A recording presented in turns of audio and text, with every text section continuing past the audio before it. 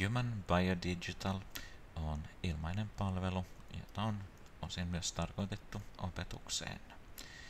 Luo tunnus, kirjaudu ja aloita käyttö.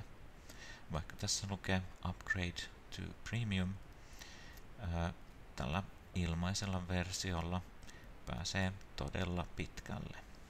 Anatomian lisäksi tästä löytyy Conditions ja täällä on sitten yksityiskohtaisia ää, kuvauksia.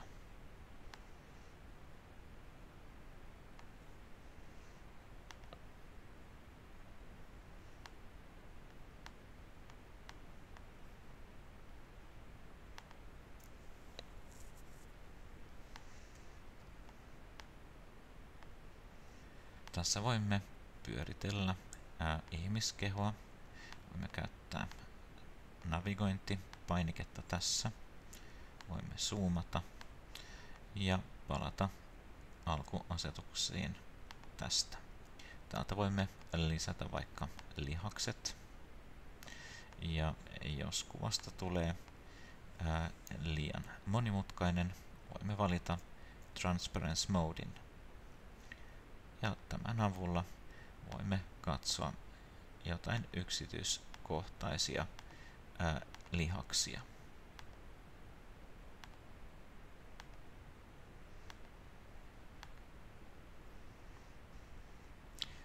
Cross-sectionilla voimme ottaa poikkeleikkauksen.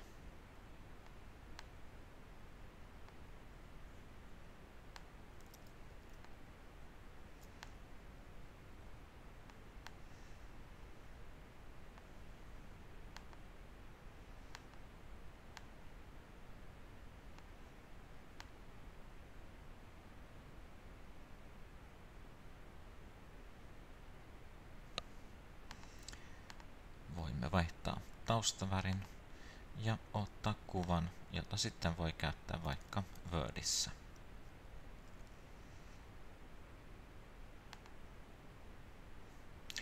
Dissect-työkalulla voimme poistaa ää, yksittäisiä kehon osia.